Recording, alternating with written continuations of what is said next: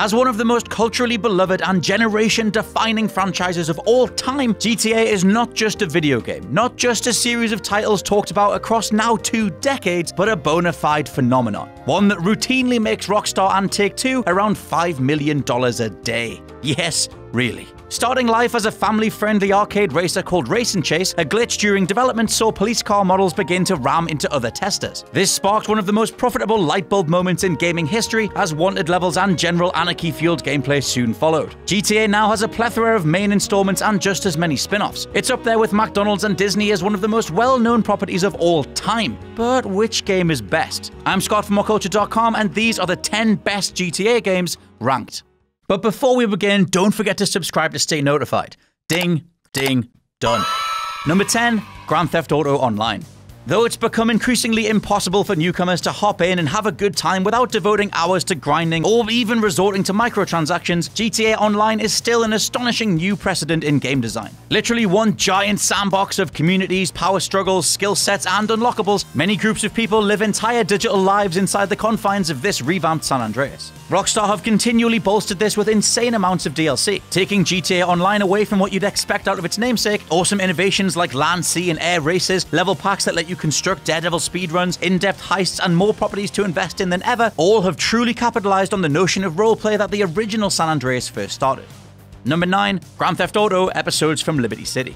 I mean, look, they're all going to be called Grand Theft Auto, so maybe we just go with subtitles from here on out. Overlooked thanks to GTA 4 being the first notable dud in the series. Oh dear god, comment section, I know. Most people agree and other people disagree. You'll just have to argue it out. Both sizable DLCs, The Lost and the Damned and The Ballad of Gay Tony, include all the character and personality that was lacking from the base game. Where GTA 4 focused on Niko Bellic's satisfying enough revenge tale that doubled as a comment on how manufactured the American dream can be, Lost and Damned is essentially Rockstar doing a Sons of Anarchy style tie-in. Main man Johnny Klebitz is a tough talking biker with a heart of gold, someone who fits the GTA protagonist mold but allows for a great story and character beats alongside. The Ballad of Gay Tony sees Rockstar tease out what a modernized Vice City might feel like. There's everything from all new radio stations to a story that takes you from neon lit nightclubs to the tops of skyscrapers, only to then let you base jump all the way back down to the bottom again. That sense of freewheeling, cartoonish anarchy that Vice City and San Andreas reveled in, yet were missing from GTA 4, it's all right here. Number 8, Liberty City Stories. One of the smartest decisions Rockstar ever made, revisiting the iconic industry shaking Liberty City on PSP was a masterstroke. Not only because of how they found a way to pack a full GTA game into a handheld, but because many of the lessons learned from future installments were retrofitted. Alongside bikes on the streets, better controls, and shooting was Rockstar experimenting with what a GTA multiplayer mode could be. Slaughtering each other in the six player Liberty City Survivor deathmatch using any means necessary, ramming players into the scenery when street racing, blowing up bases, and commandeering tanks. It was brilliant. Granted, all of this could only be played in local ad hoc with an assortment of PSP owning friends, but as a furtive step towards GTA 4 and 5's online modes, it can't go unnoticed. Number 7 Vice City Stories. Doing for Vice City what Liberty City Stories did for GTA 3, Rockstar were clearly looking to improve on what was already one of the best open world games of all time. Vice City Stories came complete with even more retroactive improvements. Basic control and vehicle variety upgrades were standard, and finally being able to swim was a godsend. This also continued the original stellar soundtrack, but what really stood out was a neat empire building mechanic. Like San Andreas' respawning turf wars, protagonist Vic Vance would have to look after a number of different properties that could be upgraded and staffed with lower level goons. Interacting with this crew provided missions that improved the buildings themselves, all while you went out and secured more turf, ensuring your daily take was always on the rise. Bonuses like clothing sets and better weapons came from maximizing your time micromanaging all of this stuff, and it remains one of the only times Rockstar put such a mechanic into a GTA game that didn't feel like a meaningless distraction. Number 6 Chinatown Wars. From open world add ons to a game that was all about getting lost in minigames and new mechanics, Chinatown Wars was Rockstar's second attempt to make GTA work on lower spec hardware. Rockstar knew that traditional GTA as it was post Vice City, San Andreas, and GTA 4 wouldn't work, and playing Chinatown Wars is almost like they thought, hmm, what would GTA be like if it was developed by Nintendo? Seriously, it almost channels WarioWare with all the minigames and cutaways, letting you manually fill Molotov cocktails, kick open windows if you fell in bodies of water, assemble a sniper rifle, crack safe codes. There's loads to do. It being such a drastically different GTA did put many people off, but go in knowing what to expect, and this is a great shakeup of the standard formula. Number 5, GTA 4.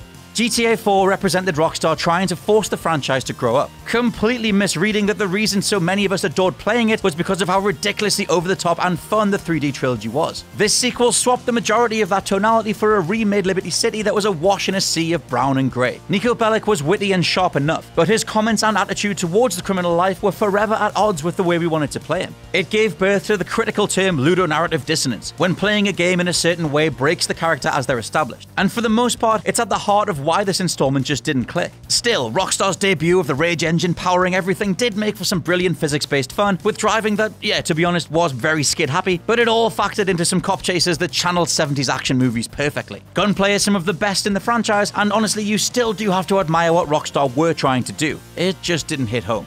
Number 4, GTA 5. Speaking of not hitting home entirely, GTA 5 feels like something of a course correct after GTA 4. Back with a Vengeance was a far wackier goofball tone, mixed with some tabloid headline chasing scenes like a protracted torture sequence. Straight gameplay wise, this is the best of the bunch, with the idea of switching between a trio of protagonists letting you drop into all sorts of in progress crimes and sequences. It stumbles and falls regularly in the script department, as you can tell Rockstar was struggling to match their idea of what GTA is with that of the wider fandom and the public overall. Grand Theft Auto was bigger than Jesus after over a decade of great reviews and positive buzz. Many critics still cite GTA 4 as not a roadblock but a one off masterpiece, meaning that whatever the next numbered installment was going to be, it somewhat had to please everyone. Thankfully, Rockstar playing it safe delivered a sales hit like nothing else, though going through it side by side with the earlier games and especially GTA 4, there's a lack of purpose and passion that ultimately defines how it lands here. Number 3, GTA 3.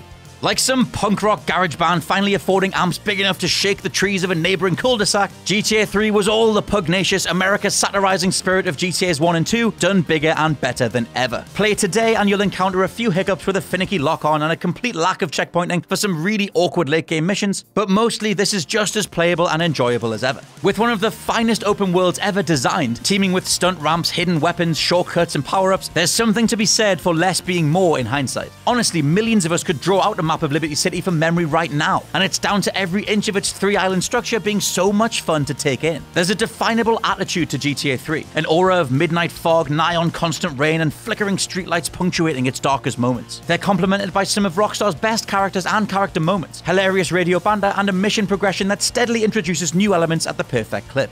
Number 2, San Andreas.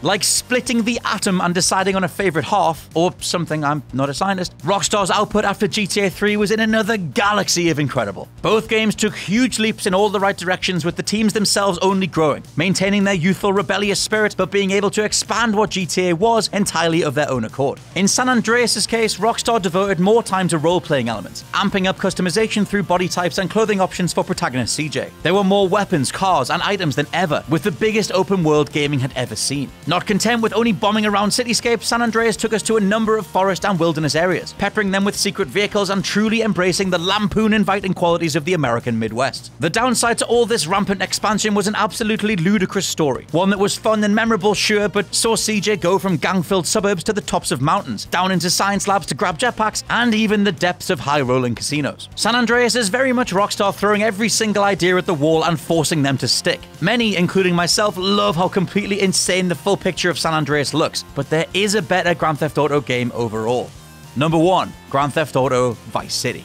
You can break into a garage in Portland and make off with a Banshee, base jump off Mount Chiliad. You can take part in one of the most intense bank heists ever seen, or fly a tiny plane into the back of an in-flight cargo plane. You can do all these things and it won't compare to the career best heights that embody and reinvigorate every aspect of GTA Vice City. It's the pitch perfect tone that knows just how much to poke and prod at 80s American ephemera. It's the cast of celebrity cameos having fun with some fantastically over-the-top characters. It's being given a chainsaw and then chasing down a handful of goons who betrayed your employer. It's the finest sound soundtrack in gaming history. What Rockstar tapped into when setting GTA in the 80s was the perfect match of an already extravagant game with a time period that in itself was cooked and glazed in excess. You'd be hard pressed to find a more masturbatory decade where bright primary colors, perms, and leather pants were deemed cool and make it more lovable. And yet, they found a way through both indulgence, commentary, and gameplay in equal measure. Vice City is funny, biting, enjoyable mechanically, and perfectly sized when it comes to how its missions and content is spread across the map. Taken as a whole, it is the best Grand Theft Auto, at least so far. Hey guys, thanks for making it to the end of the video. Aren't you a star? Don't forget to subscribe below, and also the people who made this video, they're right here, so go and follow them and give them some love. If you want to see more content, there's probably some stuff flowing up above my head. Why not check it out? It could be fun. I'm not your dad.